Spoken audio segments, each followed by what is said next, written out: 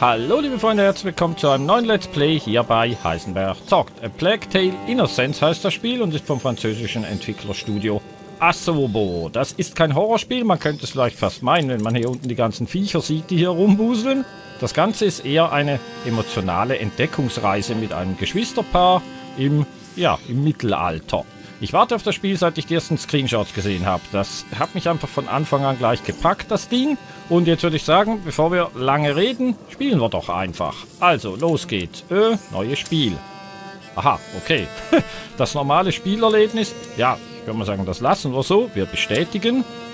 Dann können wir noch das Familienwappen auswählen. Ich würde sagen, wir nehmen grün. Grün ist die Farbe der Hoffnung.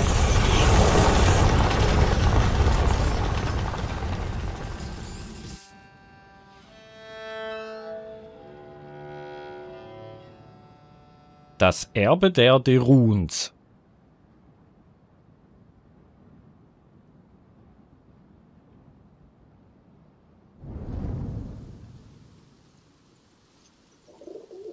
Königreich Frankreich. Trödelst, Amicia. Wie willst du denn den Herrschaften bei der Jagd folgen? Das sind also deine Pläne für mich? Ich soll folgen. Ich werde voranreiten und sie Staub schlucken lassen. Aber dafür brauche ich ein gutes Pferd. Du drängst mich schon so lange zu diesem Spaziergang. Warum hier? Der Baum.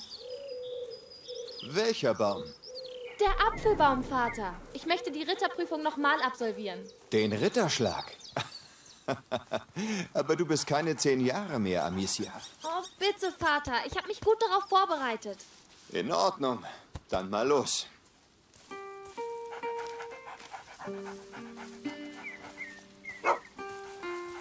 Schön. Sieh dir mal Leon an. Das Raubtier aus Guyenne strotzt vor Kampfeslust. Dein Raubtier denkt wie immer mit seinem Magen. In der Hinsicht ist es dir nicht unähnlich. Vorsicht, Fräulein. Los, Leon. Du wirst Beute finden. Ich glaub an dich. Mach dir keine allzu großen Hoffnungen. Lass uns weitergehen.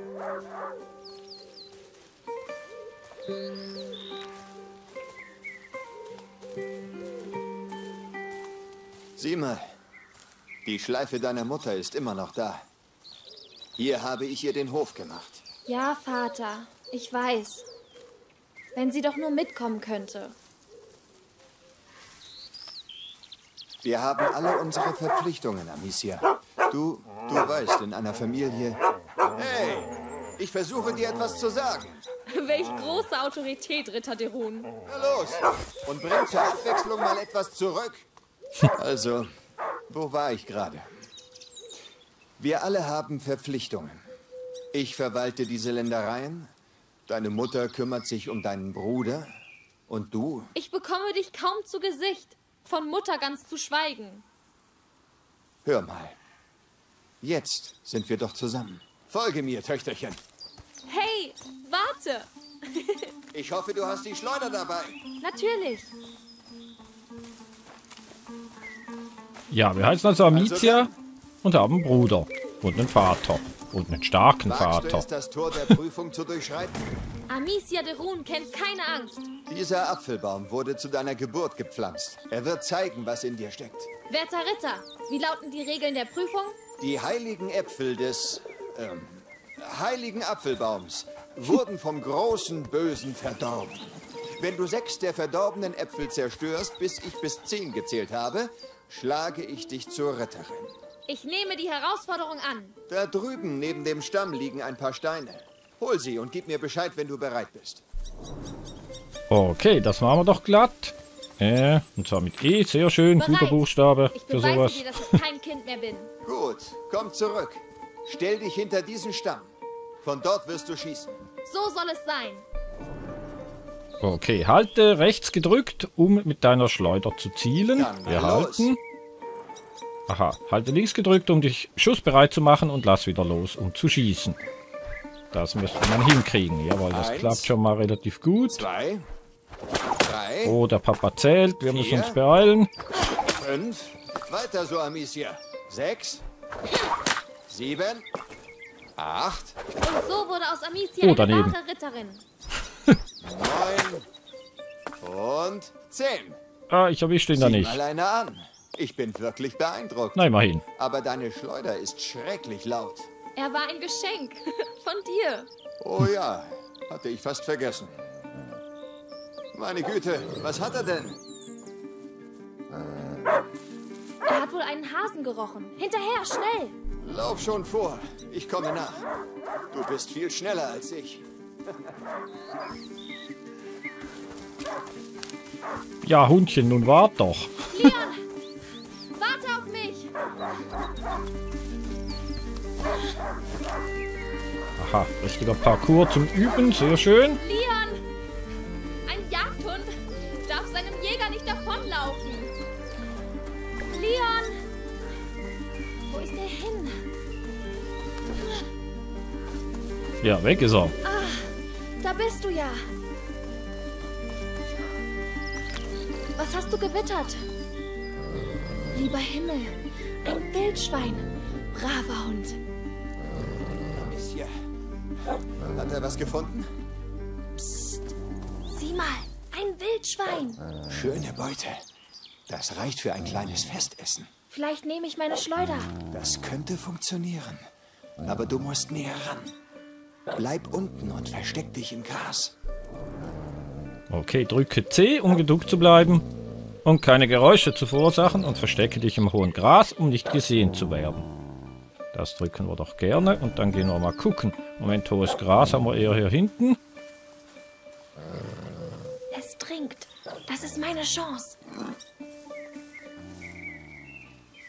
Treffe ich das Ding von hier? Ich hoffe es mal. Schau mal. Es hat mich gesehen. Du musst dich anschleichen. Ja, Ziel auf seinen Kopf. Okay, ziel auf seinen Kopf. Kaum äh, wollte ich die Schleuder nehmen, hat es uns tatsächlich ähm, entdeckt, das Viech. Wie macht man das denn am Du besten? musst auf den Kopf zielen. Ja, Ich mache ich. ja. Ich will den Braten auch. Ich weiß.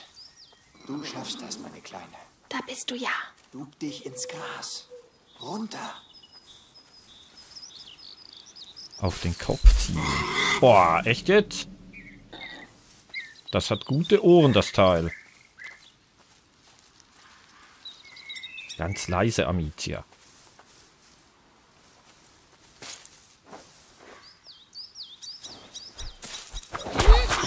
Zack, das arme Tier. Lässt dich der Hunger immer so genau ziehen?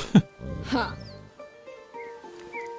Der Braten ist jedoch noch nicht nein, serviert. Nein, nein, nein. Schnell, Leon. Nicht die Spur verlieren.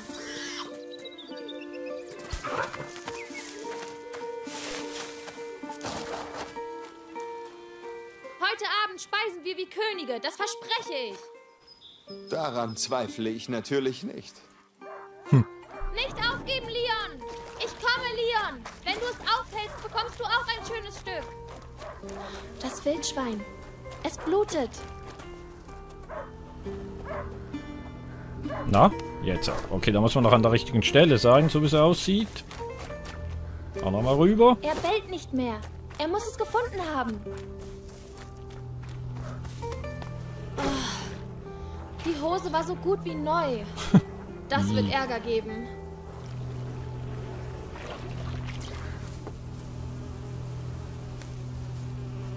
Die Bäume. Wer war das? Leon, komm her! Das Oh, ist das Wildschwein. Aber Leon war das bestimmt nicht.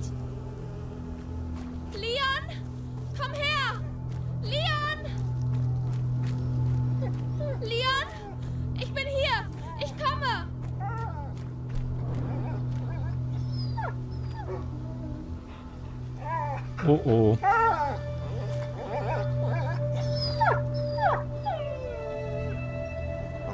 Leon, wer war das? Leon!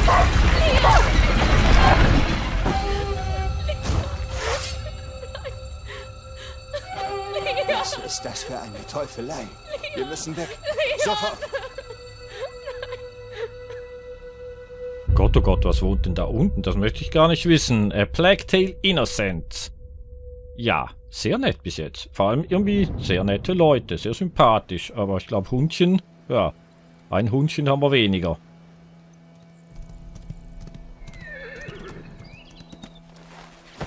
Ich werde eine Jagd organisieren. Geh zu deiner Mutter. Ich muss mit ihr sprechen. Sie kümmert sich. Ganz sicher um Hugo. Ja, natürlich. Amicia. Er war ein guter Hund.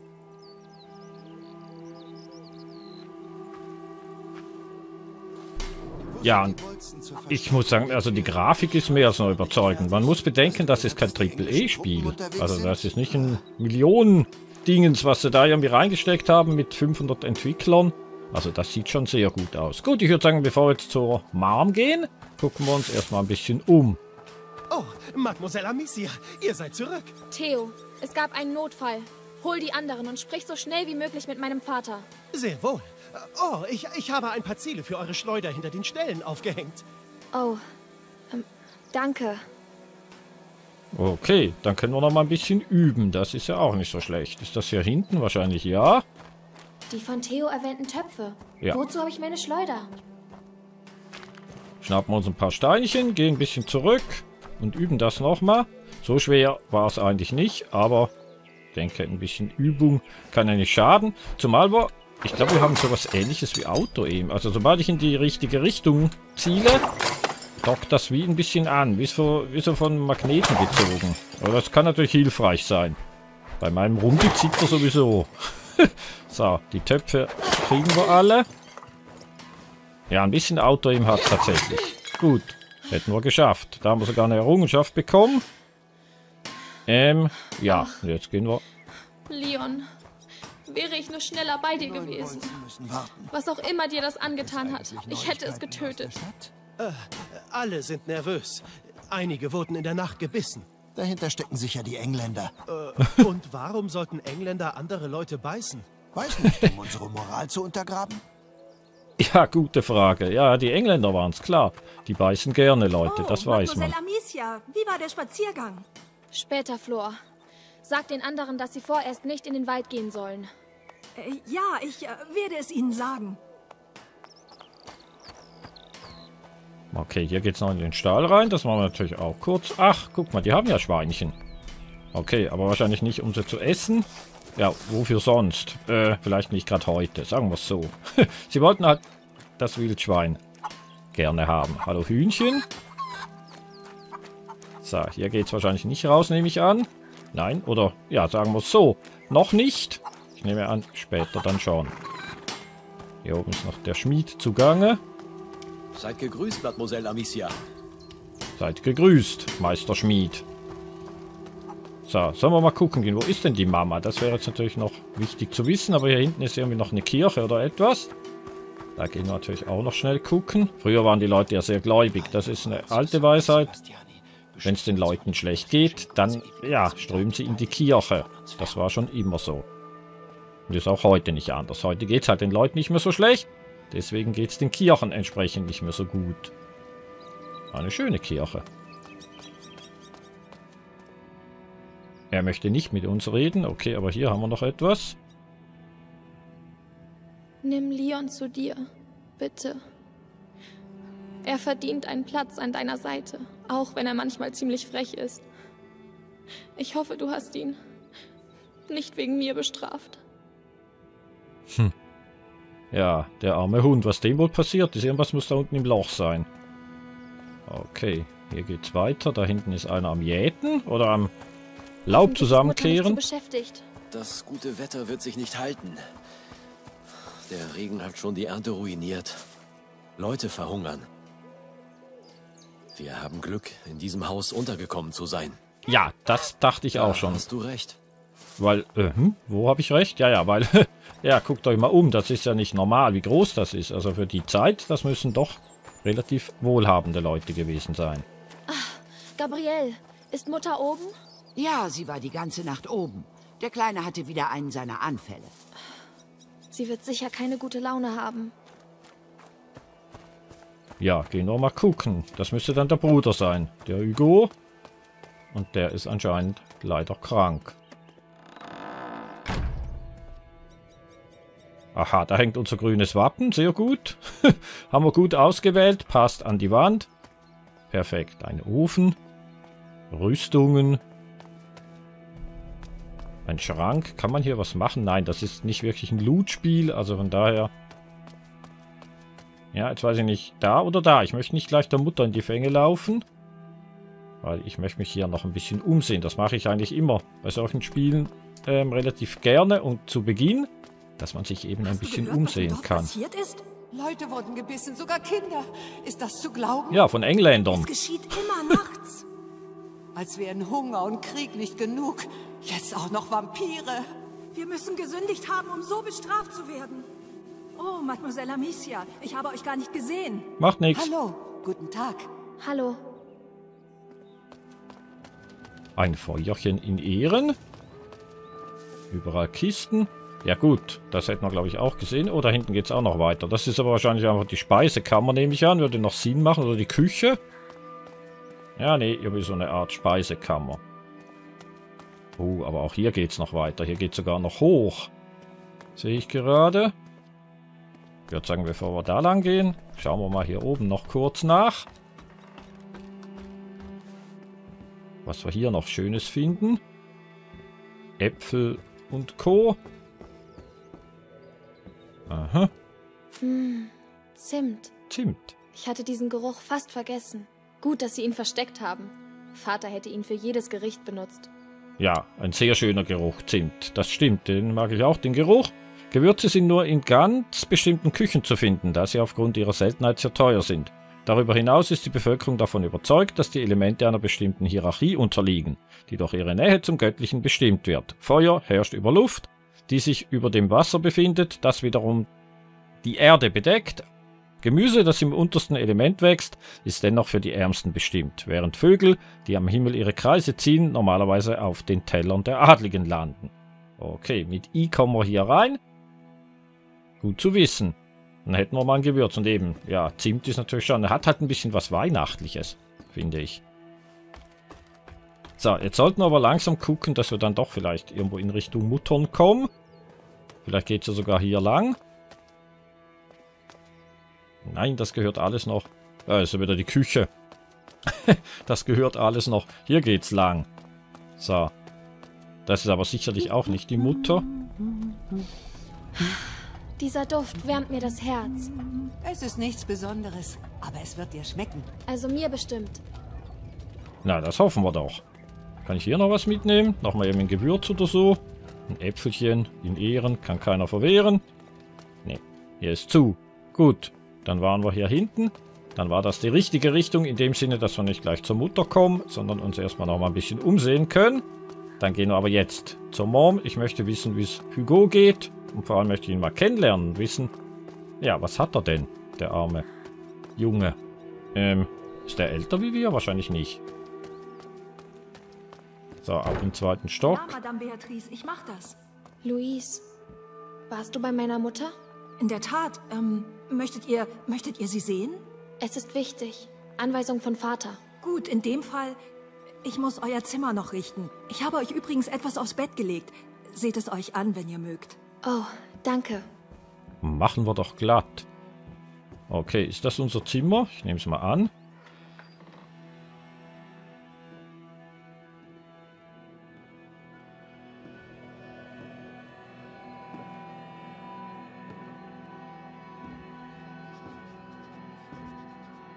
Doch nicht. Mutter? Du sollst hier doch nicht hereinkommen. Ja, aber etwas hat Leon im Wald angegriffen. Ich würde mir deine Abenteuergeschichten wirklich gerne anhören, doch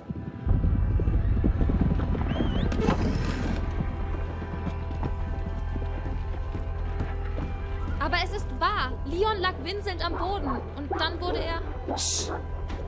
Bleib hier bei deinem Bruder. Was? Warum? Was geschieht Schließ die hier? Tür hinter mir und öffne nicht die Fensterläden, egal was geschieht. Aber Hugo, Er ist nicht ansteckend. Ich weiß, du kennst ihn kaum.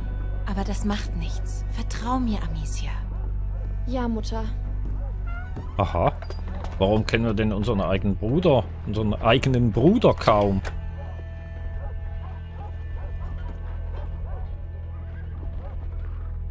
So, und wir sollten irgendwie noch unser eigenes Zimmer finden. Überspringen? Ne, überspringen möchte ich das eigentlich nicht.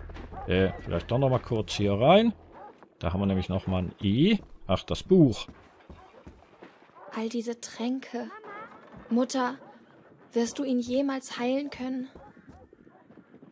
Komme ich hier nicht hoch? Hier, hier geht's nicht hoch. Ein Skandal. Aber da ruft jemand. Das muss Hugo sein. Wie lange ist er schon hier? hier? Vier Jahre? Fünf?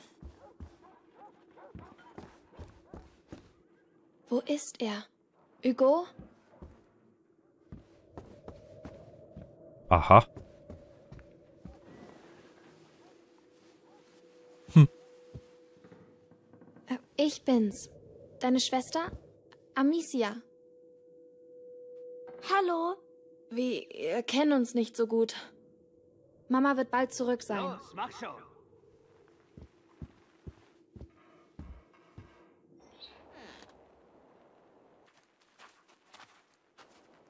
Hat er gesungen? Nein, Senor Nicolas. Er hat zwei Männer getötet. Wo ist er? Zum letzten Mal. Wo ist euer Sohn? In guten Händen.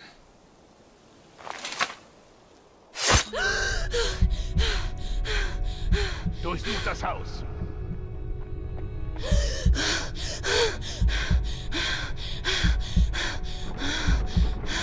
Mama?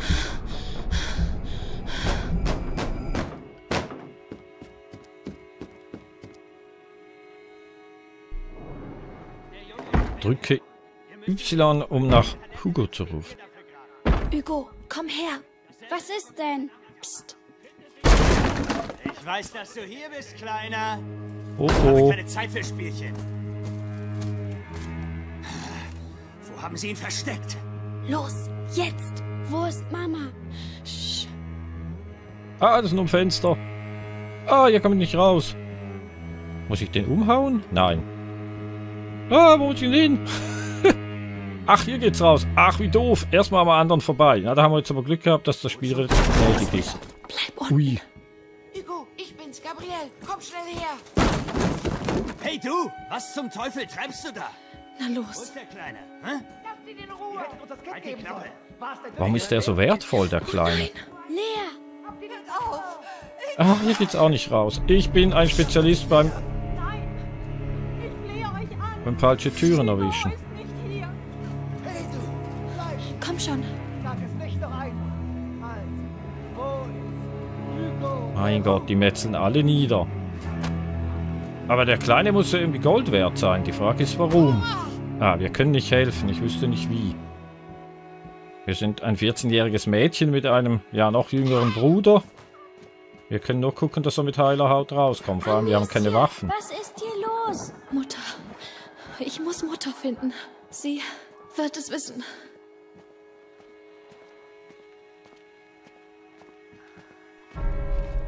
Oh mein Gott. Luis. Macht es dir etwa Spaß, mich so durch die Gegend zu scheuchen? Bitte. Wir müssen das ausnützen. Es, oh. Wir müssen. Wir müssen weiter. Nicht hinsehen. Oh. Nein. Nein. Nein, Amicia. Wir müssen weitergehen. sag schon, muss ich dir wieder wehtun?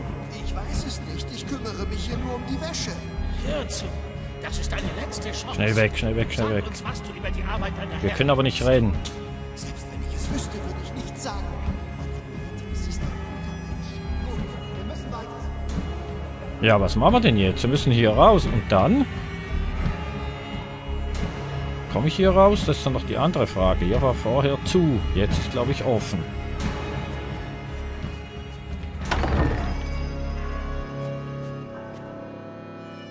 Wen haben wir denn da? Wo wollt ihr zwei denn hin? Sehr gut. Die Mama. Oh, Kinder.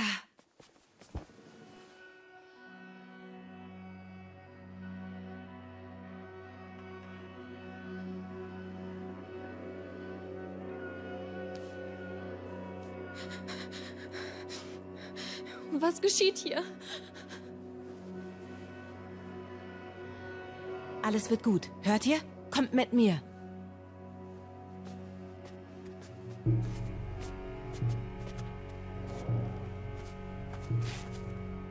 Hugo, nimm die Hand deiner Schwester. Ich gehe zuerst und ihr folgt mir einfach.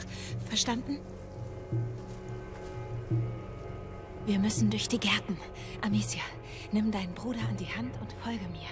Aber leise, ja? Ja, ja. Okay, da stand ja gerade noch von wegen, wir müssen Hugo an der Hand halten, sonst wird er nervös und macht oder schiebt Panik. Ja gut, durch diesen Garten durch, das machen wir dann in der nächsten Folge. Ich danke euch fürs Zusehen, hoffe, er hat euch ähnlich gut gefallen wie mir. Ich finde das bis jetzt, muss ich sagen, ganz, ganz stark. Wirklich intensiv und einfach gut. Ich bin gespannt, wie das weitergeht. Ich hoffe, ihr auch. Ja, wenn es euch auch gefallen hat, das sage ich eigentlich relativ selten, aber ich würde mich natürlich freuen über einen Daumen nach oben und wenn ihr den Kanal noch nicht abonniert habt, ja, dann drückt doch bitte aufs Knöpfchen, kostet ja nichts. Wie gesagt, das sage ich alle 10 Jahre mal, aber jetzt war mir einfach gerade mal wieder danach. Danke fürs Zusehen, bis auch nicht zum nächsten Mal. Macht's gut, tschüss.